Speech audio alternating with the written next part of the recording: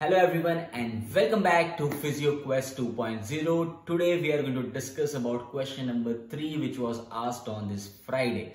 But before this, if you are new to this series and you don't know what is PhysioQuest and you want to know more questions like this, you should watch PhysioQuest season 1 in which I have discussed more than 30 questions, more than 30 cases on real life physiotherapy scenario, more than 30 conditions and many more things.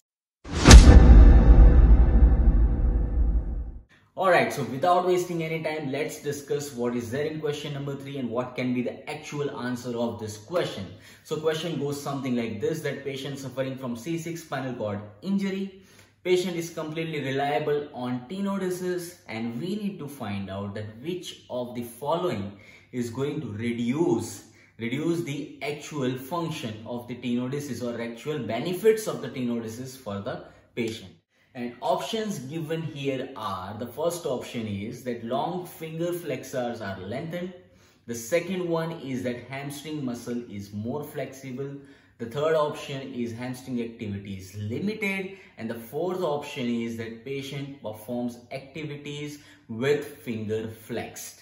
Now, my dear friends, you must know that functional position of hand, which means that hand has to be flexed. Okay, let's start with the elbow. Elbow has to be flexed and your uh, forearm has to be semi-prone position plus your wrist has to be slightly extended and fingers have to be flexed. So this is your functional position in which you can perform all the activity, all the daily routine activities with ease.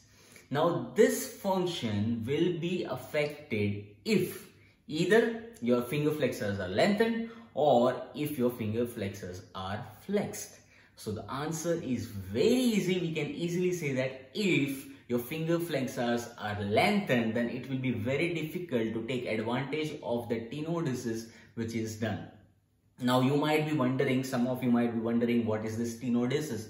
So tenodesis is just simply like arthrodesis where we fuse the joint in arthrodesis. In tenodesis we try to fuse the tendons or muscles so that we can create one functional activity position for the patient, especially in the spinal cord injury.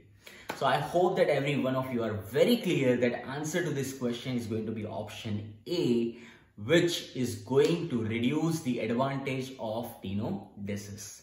If you have any other queries about this, do let me know in the comment section. If you are loving this season PhysioQuest 2.0 then also please let me know in the comment section. It will really motivate me for give you more and more questions and conditions like this